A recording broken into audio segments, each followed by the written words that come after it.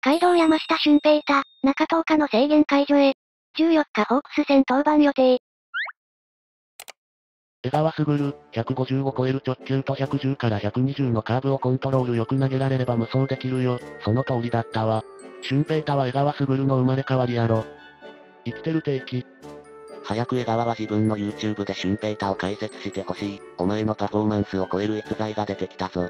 しかもフォークも投げれるし。6割ストレート、3割カーブ、1割フォーク。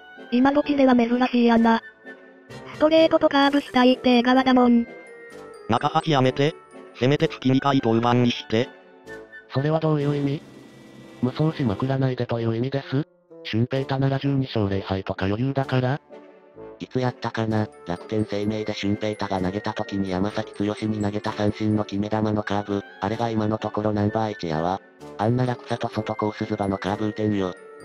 セリーグの高橋宏と、パリーグの山下俊平太まあ所属球団的に俊平太に分があるな。ご視聴ありがとうございました。スポーツの話題を取り上げています。チャンネル登録、高評価ぜひお願いします。